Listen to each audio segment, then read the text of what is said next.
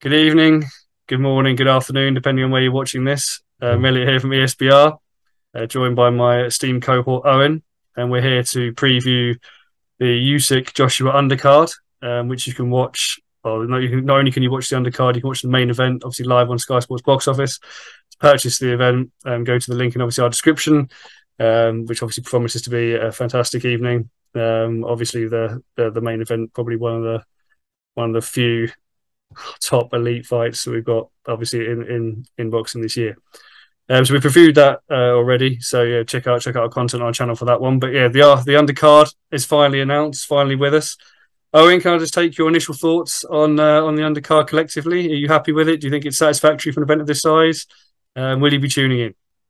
Um, definitely be tuning in, no doubt about that. Um, at first, when the undercard got announced, I was I was very disappointed. I thought for a fight of that magnitude to be holding it in Saudi Arabia, the money it's worth. Um, in a sense, no one really knows if it's the zone or if it's the, the promoter out there as well who's putting the money up for it. A bit of a weird one. Now the undercard's taken a bit of shape. It's improved. I'd have liked to have seen a bit more. This is it's not a make or break for the heavyweight division, but it's got serious, serious repercussions for the future of the heavyweight division. And everyone knows the heavyweights are the kings of boxing.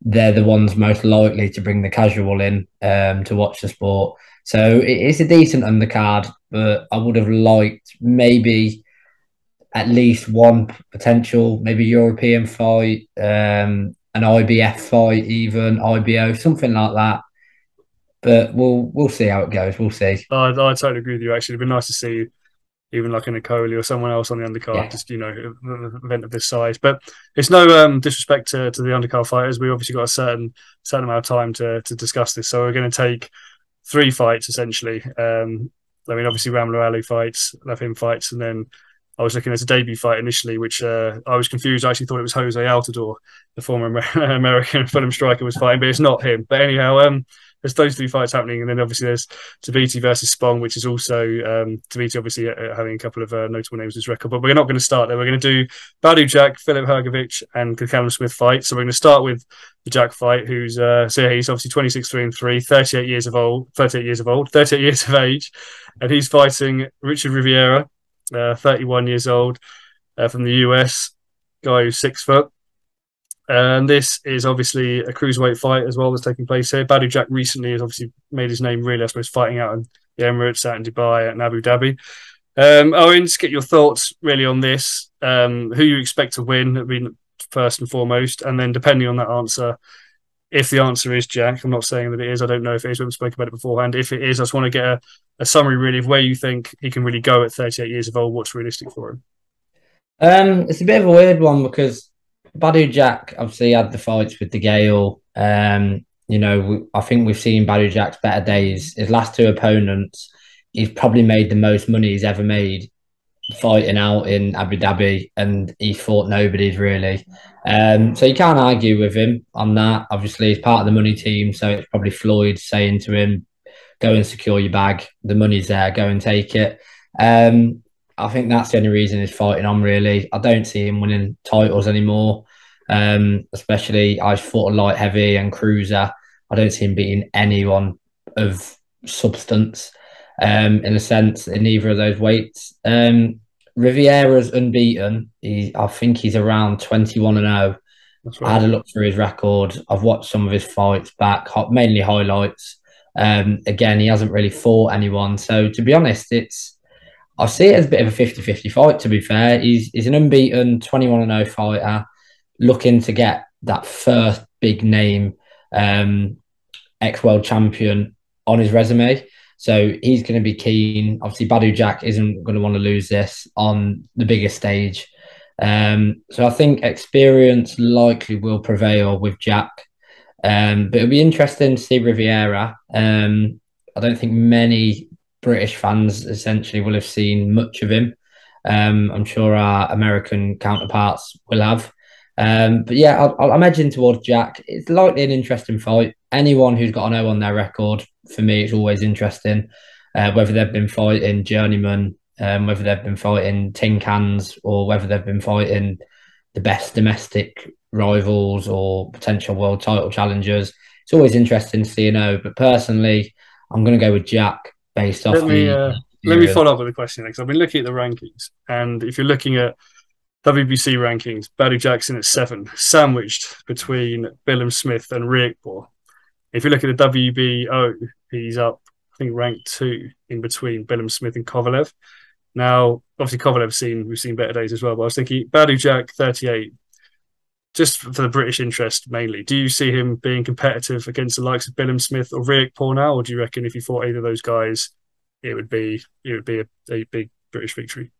That's a very good question, actually. Um, I think Riakporhe probably blows him away.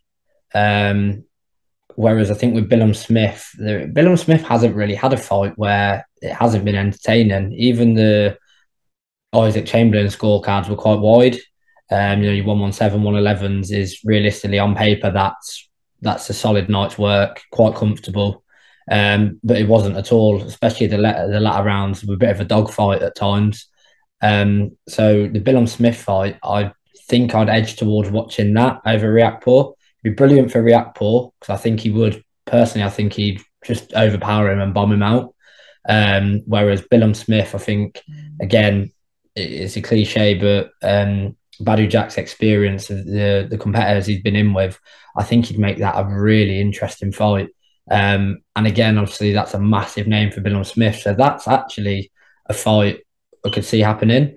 But then on the flip side of it, if Riviera spoils the party, he's 22 and 0, he's got that big name, that's probably going to shoot him up, not necessarily into Jack's positions, but a lot higher. So then again, on the back of a Badou Jack victory, someone like Billam Smith, I think that's a great opponent. No, thank you, thank you very much for that and for your thoughts on this fight. And we're going to, um, I'm actually when, when speaking about it in, in these sort of contexts, you always it always brings you out more excited, and it always sort of teases yeah. out. Initially, when you sit there thinking, 38 year old guy against an unbeaten American guy who's a lot younger, could it be a sad spectacle? Would it be a good spectacle? But when you think about it and, and actually, you know, consider it, it actually is probably closer and more of a more of a decent contest than, than initially yeah. credit for. Moving on, we're going to go to Filip Hrgovic versus Zhilei Zhang. Um, this is a heavyweight contest. Um, Hrgovic 14 and 0, Zhang 24 0 and 1. Now, I think it might be fair in saying Hergovich, in a lot of ways, is one of those guys often talked about when you talk about heavyweights. Um, sort of the guys beneath the Furies, beneath the Joshuas, beneath the Usyks, like the guys rising through. He's always a name that's mentioned. But you always look at also mentioned in the sense of being avoided. Like you probably look at his his record and it's got, you know, it's got the likes of Booker, Molina on it. No real marquee name um, necessarily, but not necessarily. There's not his, to, to, blame him or, or, or any sort of detriment to, to, his negotiating skills in that department. But then there's Zhang, 39 years old.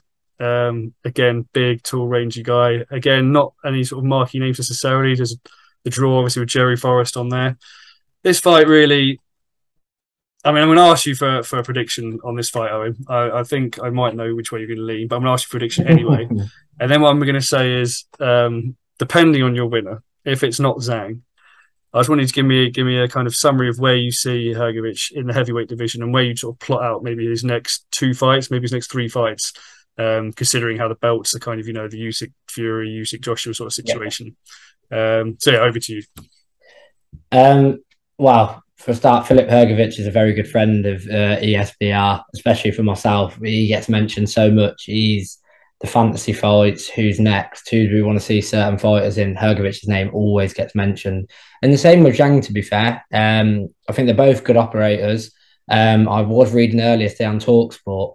Um, I'm not sure what the substance behind it is. However, they said within the rank, the top 15 rankings of, I believe, I think it was the IBF, no one wanted to fight Hrgovic, bar Zhang. Everyone has turned him down. So it is clear to see, you can see from the interviews, the trainer, um, promoter aspects of things. No one wants to fight him, and I think it's clear to see why. He's, I think he can box and move, not to the likes of an Usyk, a Fury. He's obviously not that much speed, but I think he's got, from what I've seen of him, I think he packs a lot of power.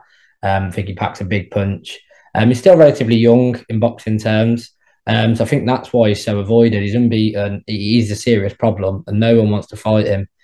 I mean, you get fighters who claim they're avoided, but it's simple as Hrgovic is constantly avoided. No one wants to fight him. And fair play to Zhang. I mean, Zhang was in with Joshua in the Olympics um, when Joshua won gold. So you can see why he wouldn't be scared to fight anyone. Um, I do think Hrgovic beats him. I think Hrgovic has got a slightly better resume. Neither of them have got the huge names you want. Um, so for either fighter, it's it's a massive win.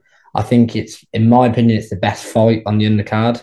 It's probably the closest and the most competitive um, because a lot of people won't have seen much of the two fighters. Um, so when obviously you do your research and people look into it, Hrgovic unbeaten, um, Zhang's got a lot of wins. So it is an appealing fight. It's one that Hrgovic has been talked about getting his big fights for a long, long time now. Um, he's on the big centre stage.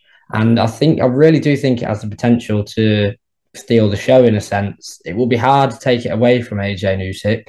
Um, but if Hrgovic comes in and dominates Zhang um, and stops him, it's, it's a huge, huge statement. Um, so I think I do think Hrgovic will win, um, but I'm just delighted that he's got a decent opponent and someone hasn't been scared to fight him. Um, so I'm not sure what your thoughts are, but I think Hrgovic for myself.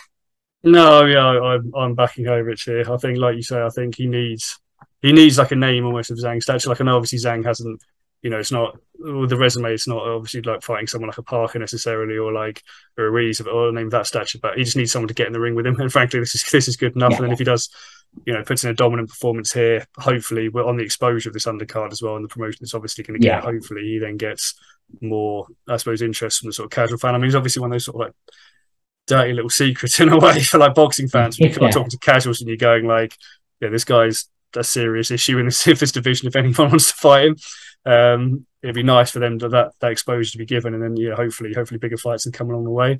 I was just thinking because I've been looking, obviously, again, I, I, like to have a sort of look at the rankings, like you say. Obviously, everyone's avoided him pretty much through the IBF, um, and he's ranked actually just behind Ortiz, who obviously fights Ruiz. Um, yeah, which is surprising, but I suppose again, like you say, he hasn't necessarily had the fights um, to push himself further up there, and then even in the WBC rankings, he's down there actually in 14 below Hunter, um, below the likes of Bakole, Helenius. Um, so I was thinking, say, take those names that like take out of the equation Fury, Usyk, AJ. Where do you where do you rate Hrgovic? Obviously, you've got other names like Dillian Whyte kicking around still, Joe yeah. Joyce, Bakole, Otto Wallin, all these sort of names, Wilder back on the scene. Like, where do you rate Hrgovic's potential against maybe all those other guys if you're if you're taking sort of a top ten ranking? Um, at present, I'd say lower. Probably, I would say probably top fifteen, but we're probably talking fifteenth just. But potential wise, dependent on how he gets through against Zhang, I think he'll definitely be a top ten heavyweight. Um, I think both of them could still be a top ten heavyweight. Um, it's just, it's just that whole boxing cliche, and getting someone to fight them. Um, it is hard when you're an avoided fighter. We've seen it with so many fighters in the past who people just want to see them fight, but they just don't happen. A lot, obviously, we don't get to see behind the scenes. So it's good when promoters um, come out and say it, and when they do interviews and do say, "Look, no, literally, no one wants to fight me." It's out there in the public. It's almost like an outcry of someone take the fight. I need to fight. I need to make my name, sort of thing. Um, so I do think he'll definitely will be a top ten heavyweight, Hrgovic. Um, Zhang, I think he'll he'll flirt around with the top fifteen. Um, I don't think he'll win any titles. Um, whereas I think Hrgovic is sort of it's still a bit unknown. It's expected, you know, he's got a decent amateur pedigree, um, and then as he's come into the pro ranks, he, he clearly packs a punch, um, and he moves quite well. So he's got everything you'd want in a heavyweight, um, and there's clearly a reason why he's so avoided um, by all the top fighters. Um, so yeah, he'll definitely be top ten. Um, it's just how fast he can get there. I think it's going to be quite a slow process, especially if he bombs Zhang out. Then, it, although it should speed it up, I think it'll slow it down.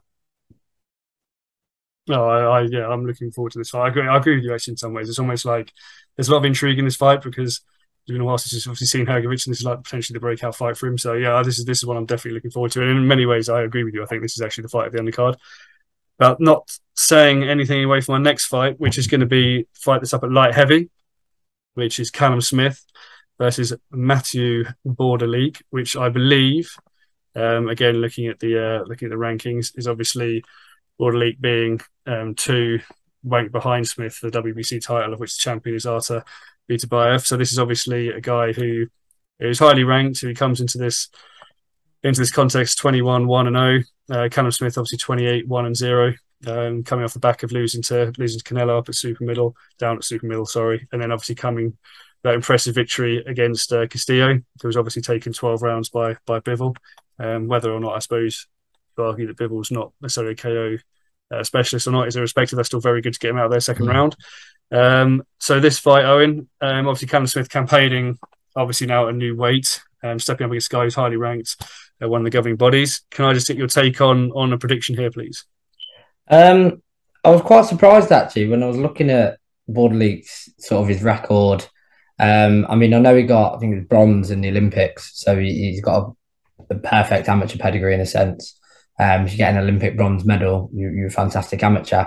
Um, he hasn't done much in the pro ranks really. He's fought a lot of a lot of French fighters. Um, he got knocked out. He got TKO'd, sorry, by some unknown Italian um, I've never heard of.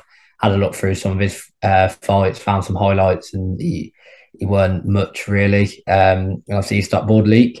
Um, he's 33 now, so this for being his first sort of known um, fight on such a big platform, it's his first chance and his last chance really. Um, if he beats Smith, the name Smith holds, ex world champion, um, had more than one bout, Super Series winner. Um, so if, if he can gain the scalp over Smith, then that his his sort of um, the, I, don't, I don't know how to put it. Like he'll it boosts him up within the rankings massively, um, and I know it's likely to lead to a title shot sooner or later. But it, it's weird. Like he's still relatively unknown, but he's got a big scalp so he'll get bigger fights. But it's a question of he'll he beats if he beats Smith, he probably gets stopped in a world title fight. If he beats Smith, for me, it's a lucky punch or it's a bad night for Smith. Um, I think Callum has to come through this convincingly. Um, I know a loss to Canelo is no shame at all, but if he struggles up at a new weight, it's never a good sign in your first fight. Um, I do think he needs to not he doesn't necessarily need to stop him. I just think he needs to be comfortable, show what he can do, um, and then it's like it's an eliminator. So whether he gets a title shot next, the WBC is by far, in my opinion, the most political bout. Um, so God knows if he'll actually get the shot next. I mean, obviously at light heavy, you've got Bivol still around the weight. Um, he needs to decide what he's doing. Um, Canelo still seems to be wanting the light heavy and obviously we saw what happened with Canelo and Smith. So it's it's an intriguing one um, because obviously Bauderlique stock will be massive if he wins, whereas Smith, if he wins convincingly, great. If he struggles through, it's questions raised again. Um, so I, I do see Smith beating him rather comfortably. I think it'll be points. I mean, Smith showed he's got power on on, on the odd occasion. Um, but I, think it'll be a points victory for Smith. Um, I, I think I want to thread you mentioned obviously about obviously there's Peter mm-hmm. and Bivol as the champions in the division. Um, say Smith does come through convincingly. Obviously, there's there's a likelihood, I suppose, that he would be in for a shot at the WBC title held by Beterbiev. But I was also going to say, out of those two champions, do you do you give him what sort of chance do you give him coming through and becoming a world champion in this division? Do you think it's something that can happen while these two are the champions, or is he almost going to have to wait potentially until until one of them either vacates or retires or, whatever. I hate to say it because he's British, you know, he's a Smith brother. Um, he's already done a lot for boxing in this country, the Super Series, the titles, etc. But whilst Beterbiev and Bivol are around, I don't even think he gets a sniff. Um, I think Bivol stops him. No, sorry, I think Bivol beats him um, on points, and I think Beterbiev stops him, and I think Beterbiev hurts him. Um, I hate to say it like say because he's British, and I'd love Smith to be able to be a two weight world champion. I just think Bivol's too good for him. The way Bivol beat Canelo, and the way Canelo was against Smith, I, I just don't think that's a good fight stylistically for him at all. I think in terms of styles, Beterbiev's the better one if he can keep him at bay, keep him at range. Because I'd imagine Smith's huge, even for light heavy still. I mean, uh, super middle, he was ridiculously big. Um, so he's still a decent size at the weight. And Beterbiev isn't the tallest. Um, obviously, anyone who's watched Beterbiev knows he's got freakish power. Um, and he's just he's just brilliant at what he does. He dismantles opponents. Um, but I think stylistically that's probably the better matchup, but I really don't think Smith keeps him at bay for the full 12. And I think once Beterbiev catches him, it's lights out. Um, I don't know whether you give him a chance, but personally, whilst them two are still in the division or around, it's no chance from me. Uh, yeah, no, it's, it's, it's a no for me, frankly. I think um, it's a tough one with Smith because, in a way, you've obviously got victories against like Groves, you come through WBSS title, the sorry tournament, you come through that, but then almost obviously we know the contentious fight with Ryder, then the way the kind of I mean, no one, you know, obviously Canelo's Canelo's obviously an elite fighter, but the way that that sort of fight played out and the performance again was quite disappointing, especially when you compare it to how Saunders fought, even though you know sort of you're not you're stopped. The way he sort of went out on his mm-hmm. shield and was having a bit more success, uh, despite not having the physical advantage of Smith, um, was a bit disappointing. So I think in a way, for me, in a way, it's like I agree with you. I don't think I don't think the world title route for for Smith is actually going to be the one that's going to bear fruition. What I'd like to see, and what I'm actually going to get your opinion on now, actually, because I was thinking about it when you were talking about it, and we can finish on a, a joyous uh, British segment, is whether out of those guys, the British guys in that division, so obviously you've got Buatsi, you've got uh, Yarde, you've got Smith, Callum Johnson still kicking around. Do you have Smith as the best of those guys, a light heavy on the British scene, or is there are, are you more of a fan, or do you believe that one of the other guys has got more potential um, than Callum Smith up at this weight? Um, I think it's a bit of a weird one. I think at present, I'd probably say Smith's the best boxer. Um, technically, I'd, I'd, say he's comfortably the best. Um, Buatsi's a weird one. Um, as I said to you, yourself and the guys earlier today, from his first his debut, from his first pro fight, it was he was earmarked, and I completely agreed with it. I was like, Joshua Buatsi will be a world champion, but I think his progress has been extremely slow because he, he started off quite fast. They were moving him through the ranks, sort of thing, stepping up his opponents nicely. And then he didn't look amazing in his last fight. Um, did turn into a bit of a dog fight, um, sort of halfway through. Um, so with Buatsi, I don't think Buatsi wins a world title. I think Smith beats him. Um, it's again, it's a weird one because although Smith's a better boxer than Callum Johnson, I could actually see Callum Johnson stopping Smith if they ever fought. Um, and the way um, Johnson was in his world title fight, I see Johnson as being the most likely because of his power. He's clearly got the power; he can knock anyone out. Um, you know, dropping a world champion. Um, in the four or five rounds, whichever it was, it was around that mark, was, was just mental. It was just straight into each other. Um, and it was quite brutal. So I don't see Anthony Yarde winning the world title. I I do see Callum Johnson being the one based off his power alone. Really, he's had one chance, um, and he showed that he can clearly punch um, with the the best punchers in the division. Um, whereas I just see sort of Yarde would get stopped. I think, um, I don't think he's got. I don't know whether it's Tunde Ajayi, um, but I just don't think Yarde's got that killer instinct. Like when he fought Kovalev, he should have jumped on Kovalev. He should have been all over him more than he was and empty the gas tank sooner when Kovalev was hurt. So whether Yarde has that killer instinct, the same with the Lyndon Arthur, the first fight. Um, so out out of those, I'd probably say based off ability, you'd say Smith is the best, but I think Callum Johnson would be the most likely to bring a title in. And what about yourself? Uh, that's actually very interesting. I think um, I, the thing is, before you said that, I wasn't thinking that way. But now, now you're talking about Callum Johnson, I actually, I can actually see that happening. I was kind of agree with you. I think that Smith at the stage that he's at and the abilities he's at is probably well, before we started. I was thinking was the best of those of those yeah. four guys. But then, like you say, like I almost feel like Buatsi, like we've seen I feel like he's been within himself. Like you say, he hasn't seemed to have kicked on to the level you'd expect him to kick on, but at the same time, I kind of expect him to be able to find a different level at some point.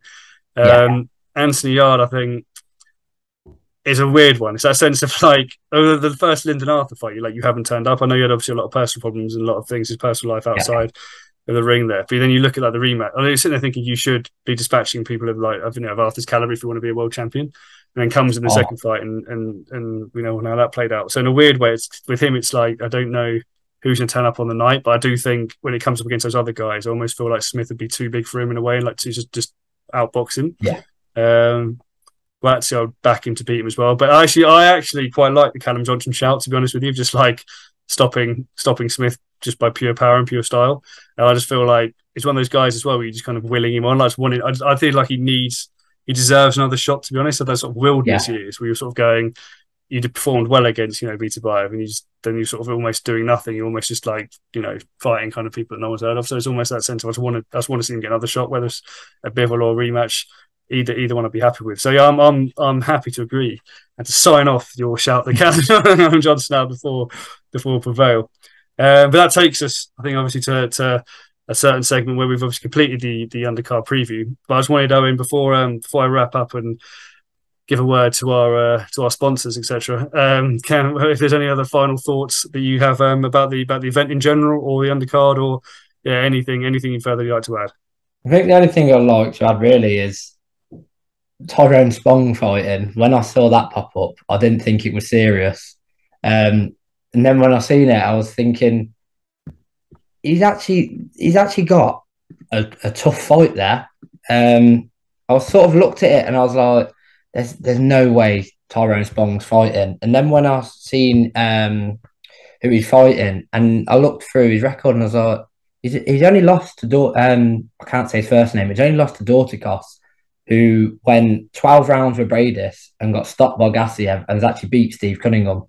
So when I saw Tyrone Spong fighting, I was like, all right, this is this is a bit weird. and then when I seen his opponent was like 19 and 1 and the only loss was to Dorticos. I think it's Andrew, Andrew Tabiti, that's who's fighting, sorry. Um, so when I saw Tabiti's only loss was to Dorticos, I was like, Spong could get seriously hurt here. Been, it'll be, I think it's over three years he hasn't been in the ring. Um, Tabiti's coming in on the back of a, a good win as well. Um, and yeah, I'm just generally, I'm, I'm not sure about yourself, but I'm just genuinely baffled that Tyrone's still a heavyweight boxer and is actually fighting on this card. Well, before before we go, I mean, I have to take obviously. I agree with you on the kind of surprise factor of this fight. But I was going to take your actual prediction. Do you think Tabiti with the pedigree will come through Spong, or do you think yeah, there's? I think I think he knocks him out. You can't deny Spong's kickboxing. You know, glory K one um, his kickboxing record's phenomenal. He's an unbelievable kickboxer. He's never really got going in the heavyweights. He's been out of the ring for three years and he's fighting Tabiti, whose last fight, don't quote me on the exact date, but it was May this year. Um, and he's knocked out his last two opponents. One was a knockout and one was a TKO. So I just think it's just going to be disaster for Spong. I mean, if he comes through and if he beats him, it, it, it could be a boring fight it could be a Spong knockout. You know, the heavyweights, anything can happen. But personally, I just I just can't see anything other than a Tabiti knockout. No, I, I, I agree with you. I almost think it's one of those ones where it's not quite the breadth not was not quite the sort of Jake Paul Rahman Jr. kind of um, breadth. Yeah. But we were sitting there going, this is also quite bizarre. And I'd expect obviously Tabiti to come through it. But um, I'd like to say, firstly, thank you, Owen. Uh, for going through, obviously, we're taking you guys through there through some obviously some undercard fights in in greater detail. Join obviously um, I suppose join join the boxing world on on Saturday, uh, the twentieth of August. Um, to join also, you know, Usyk, Joshua, and the guys we've mentioned, obviously for the event over in Saudi Arabia. And again, if you want to watch it, just click on the link below in the description. Um, and yeah, we hope to hope to give you some, well, some more content coming up, obviously from us guys. Uh, you know, we've got obviously predictions, uh, written and video um, various fighter interviews coming out, various other previews going out. So check out the channel for those. Um, and then obviously there'll certainly be some review content when I think um, you know I don't I don't want to end on any well on a negative, but it won't be negative for me. But I think we'll have some reviews, obviously of Usyk's victory, and then we'll uh, we'll, we'll, go from there. Agreed, so Owen, agreed. thank you very much, and uh, thank you again, guys, for watching. Pleasure as always.